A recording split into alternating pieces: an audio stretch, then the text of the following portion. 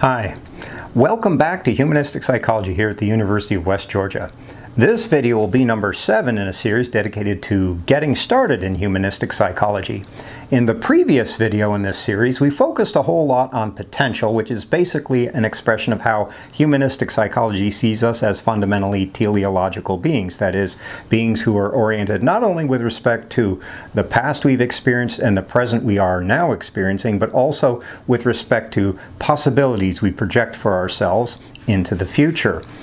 We also looked a bit in the last video at the theme of openness, and that is going to be where we start off today. Because openness, and especially openness to our deeper possibilities and potentials, is a theme not only germane to our individual existence and also to our collective existence as participants in humanity, but also with respect to the project of psychology itself. So, humanistic psychology embodies a kind of openness to questioning what we would probably easily take for granted with respect to the project of psychology generally. And here's some things that would fall into that domain. So, the idea that natural science and the paradigm of the natural sciences is the best way to study human beings. And the reason why that needs to be said is that, especially in American psychology, we've more or less taken that for granted for more or less the last century or so. So humanistic psychology embodies an openness to questioning that, even if it seems obvious that the paradigm of the natural science is perfectly adequate for studying the human psyche. Also, an openness to questioning that we already have the last word on how reality works. Okay, so humanistic psychology, as I've said repeatedly in this series of videos, attempts to be radical to get to the root in its way of questioning the reality and the dynamics of the human psyche. And uh, within sort of the orbit of that realization, it's hardly the case that we have the last word on how reality works. And I mean, think about it. Isn't that really just sort of a, boy, a moment of just crazy hubris to think that, like we already sort of have fathomed the mystery of life that we already know uh, thoroughly through and through how reality works. Yeah, you know what? We're only getting started. We're only getting started. Okay, and by the way, the other element of the hubris, we already have the last word on how reality works, and it works by way of deterministic causes and end of story. Oh, my goodness, aren't we full of ourselves? We already have the last word about what existence is. Okay, same kind of thing. So humanistic psychology is opening to questioning what human beings are in terms of being. Because as I said before, a human being is a kind of being. So questioning and interrogating uh, the meaning of existence and being is part of the openness of humanistic psychology. Also, uh, openness to questioning whether solving problems, that is to say utility, is psychology's ultimate destination and value. Like the ultimate purpose of doing psychology is to solve problems. And here again, I should probably repeat the thing I said uh, when it was it like two videos ago about this that solving problems is inevitably an important part of life. Everyone understands that. That's not up for debate. Okay? The question is, what else is going on? Because there's a lot more to life than just solving problems okay? The other part to life is uh, you know extending ourselves sort of beyond the norm and and uh, you know experiencing the real depth of life. And like i said in the last video coming into our deeper possibilities okay? It's not just a matter of trying to rise to the some kind of acceptable norm. It's all about exceeding norms too all right, so in this regard, in this openness to questioning things in a fairly radical way, in a way, humanistic psychology tries to outscience science. if you think about it. And why is that? Well, it's for the reason that I mentioned, I think, three videos ago or thereabouts, that it wants to question the very foundations that natural science and natural science approaches to psychology tend not to want to question very much. Because natural science approaches to psychology tend not to want to ask questions about the fundamental nature of existence or being or reality or any of these other questions that humanistic psychology is fairly eager to ask about. Okay, so in that regard, it wants to outscience science. Why? Because the animating spirit of science is to question everything. And the fact is that the more fundamental the question is, like, what is the nature of existence, the more important it is to ask about it from the perspective of science. So that's this contradiction that we noticed a few videos ago about, you know, how, how it is that science tends not to want to ask about the constructs that are forming the very foundation of the enterprise, despite the fact that its ethic is to subject everything to question and not simply to assume we already know the answer before we've even asked the question. Seems kind of crazy. But uh, as you may have detected, and I'm thinking you have detected it by now in this series of videos, uh, these kinds of questions definitely start to sound philosophical. Okay, so questions about the nature of reality, questions about the nature of existence, they tend to sound more like a mode of philosophy than a way of doing experiments in a laboratory somewhere. And once again, I know we've talked about this before, but here it is again. That's true. That humanistic psychology does tend to feel and sound in a way much more like a kind of hybrid of psychology and philosophy rather than a hybrid of psychology and chemistry, let's say, okay, or biology or something like that. All right, so that brings us up to the point where we begin to inquire into where humanistic psychology actually came from. So we're going to spend a few minutes drawing out uh, the historical lineage, as it were, of humanistic psychology. So first thing you ought to know, humanistic psychology arose in, well, I said it in your notes, in the 50s, 60s, and 70s, and probably sort of the central target area, if you wanted to sort of name the point of origin of humanistic psychology would probably be the 1960s here in the United States. Okay, so humanistic psychology is a distinctly American way of doing psychology, although it is definitely informed by several movements within uh, European thought, and more specifically continental European thought, as we'll see.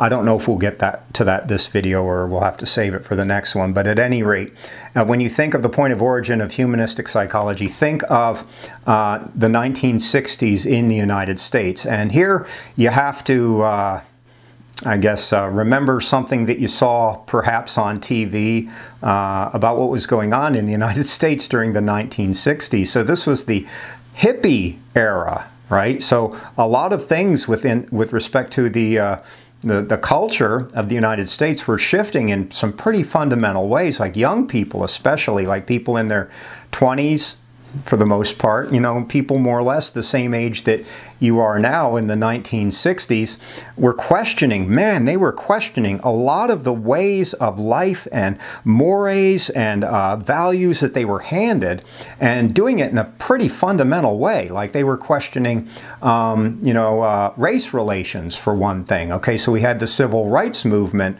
Okay, it started in the 50s, but it was definitely going in the 60s for sure. Uh, they were questioning uh, sexuality in various ways, you know, whether heterosexual sexual uh, sexuality done in the missionary position for the purposes of procreation was the be-all end-all of our sex lives. Okay, they were questioning uh, what states of consciousness were permissible. Okay, and I don't want to get too detailed about that because I'll probably get censored from YouTube or something like that. But uh, let's give you a second to use your imagination. They were questioning what states of consciousness are permissible, okay? Think back to what you know about the 60s. They were questioning whether the government is always tells you the truth with respect to, let's say, the Vietnam War, that the Vietnam War is justified and noble and all of that kind of stuff. And so they were questioning many things in many deep ways. Oh, fashion. Like they were questioning things even in how you're you can look as a human being. Like, uh, you know, 1960s, before that, it was pretty damn rare to see a male with long hair okay? You know, um, so maybe I should, since I need a haircut, maybe I can have a visual aid for a second. They were questioning whether males could have long hair or not. Of course, mine's due to the coronavirus, so I, I, I really can't sort of lay claim to sort of hippiedom or whatever at this point. But they were questioning that. They were walking around with new styles like beads and uh, dashikis and uh, sandals. And uh, a dashiki, by the way, is... Uh, a sort of uh, a very fancy African type shirt. All right. So that, you know, Nehru jackets. So that came from India. So they were questioning all these sorts of things. Questioning music, obviously. Rock and roll music was a huge uh, part of this cultural ferment of the uh, 1960s. And in the midst of that ferment, in the midst of that kind of questioning of orthodoxies and uh, you know sort of uh, the historical inertia from the past that was carrying things forward questioning all of that along comes humanistic psychology to do a very similar kind of questioning with respect to the orthodoxies that defined psychology at the time. Okay, so what are the orthodoxies that were defining especially American psychology at the time? Well, there were two dominant forces within psychology at the time and for a long time leading up to that. One of them had to do with psychoanalysis. Okay, so this is the school of psychological thought that ultimately derives from Freud and Freudian insights, and at the center of psychoanalysis is the idea of the unconscious. And okay, different psychoanalytic thinkers have different ideas about how the unconscious is structured and what its fundamental dynamisms are. Freud had a, a very uh, sexualized view of how the unconscious works. Uh, Carl Jung had a very archetypal view of what the, con the unconscious is about.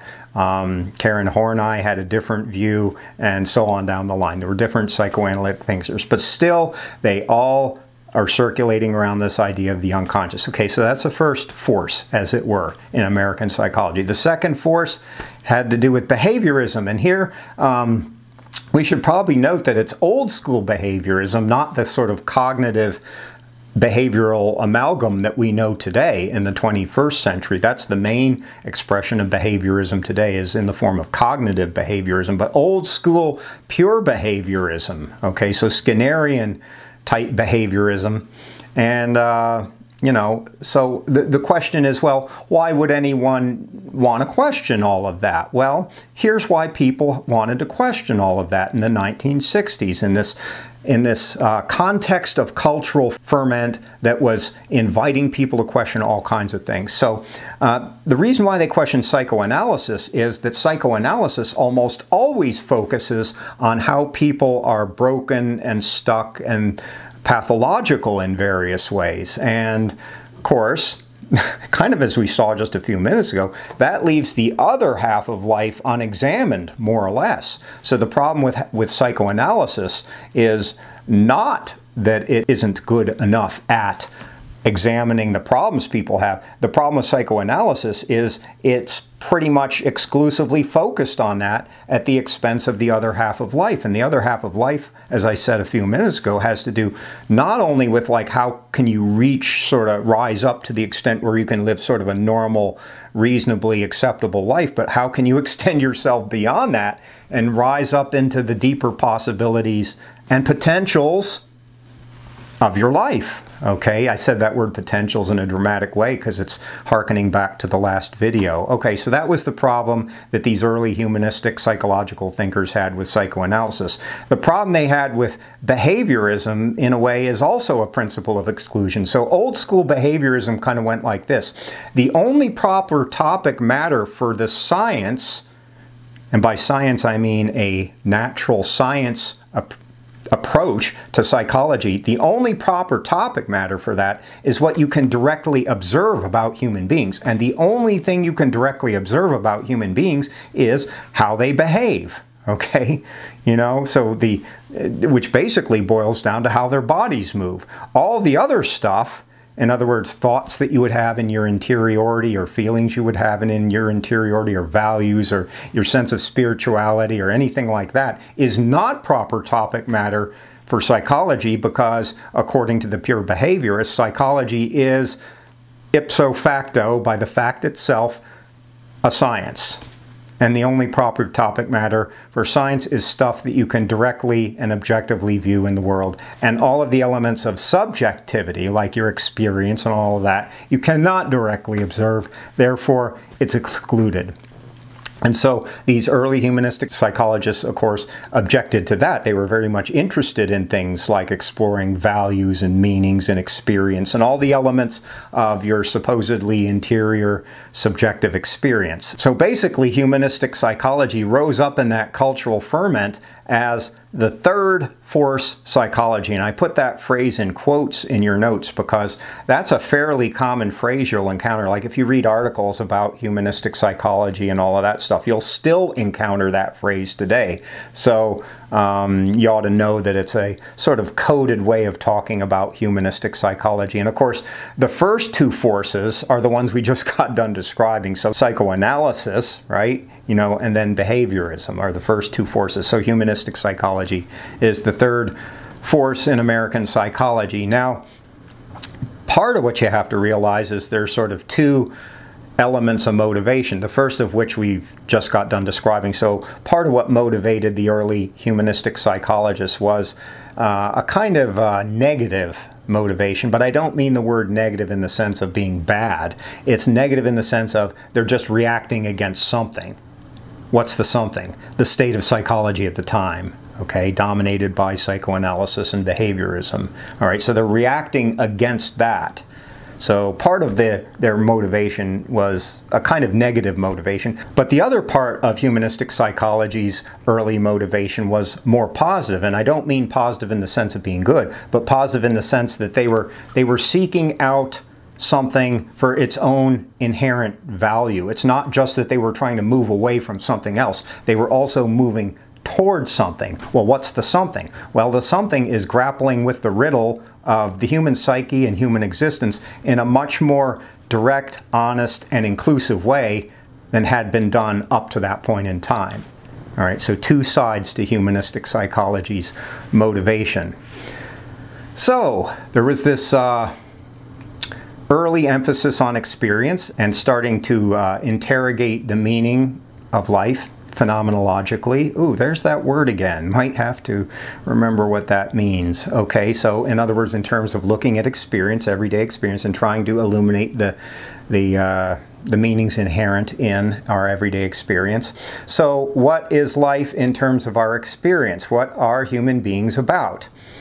Okay, well, like I keep saying every now and then in these videos, human beings are a type of being.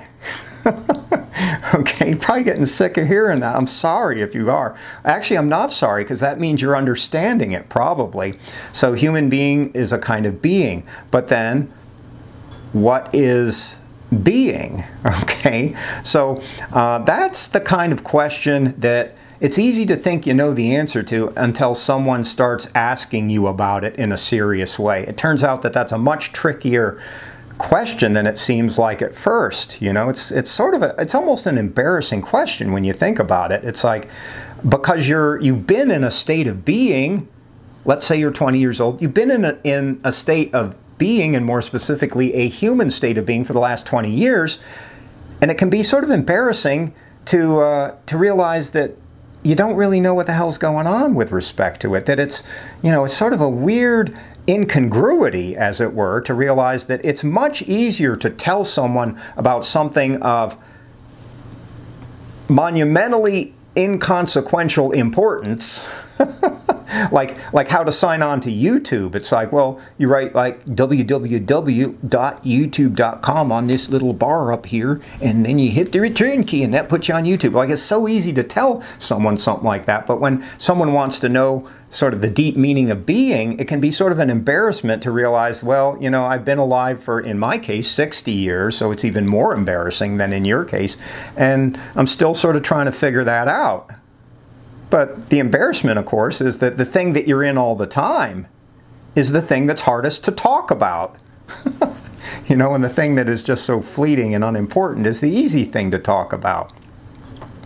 Okay, so uh, as I say in your notes, this kind of questioning made humanistic psychology more open to incorporating philosophical type insights than natural science psychology typically does. Okay, so humanistic psychology is going to be open, there's that theme again, to incorporating uh, not just philosophical insights, although philosophical insights are the most obvious case in point, but even uh, insights that come to us from literature, let's say, because sometimes people who are writing literature also have important insights into the human psyche. They also fairly often, fairly frequently, have tremendous psychological insights. So why shouldn't psychology uh, seek to incorporate those insights into its own project? Or even, you know, artists like, you know, how many tremendous uh, psychological insights have you heard in the lyrics of music, let's say? You know, like uh, I was just talking to my wife um, the other day, I think it was yesterday, and I said, uh, I was quoting the song by the Eagles, Lyin' Eyes, and I said, every form of refuge has its price. And she recognized it, of course, instantly. We're both musicians, all right? So she, it's hard to get one past her, you know? It's like, yeah, that's the Eagles. I'm like, yeah, like, dude, that's um, a tremendous psychological insight, really. Like, every form of refuge Every place that you would seek to escape to exacts its price on you. Okay, what a tremendous psychological insight. So, uh, the domain of arts and uh, musical expression, like, why wouldn't psychology seek to incorporate psychological insights that come to us by way of the arts into its project? Well, the thing is that traditional um, mainstream psychology hardly ever does that. Every now and then it does, hardly ever, not that often. But humanistic psychology is sort of eager to do that. Like, like it is very friendly with artistic, creative type people and wants to welcome them into the project. Yeah, let's understand life together. Why should we why should we separate ourselves out from what y'all are doing? Like there's that just seems so freaking arbitrary and capricious to do that. Not to mention probably self-destructive at some level.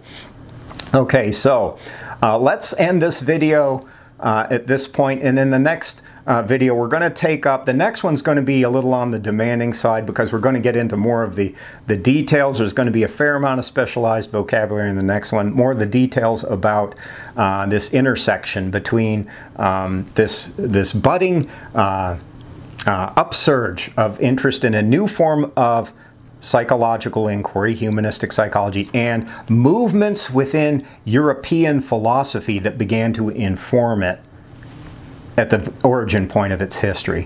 But until then, have a great day. I hope you have a good one.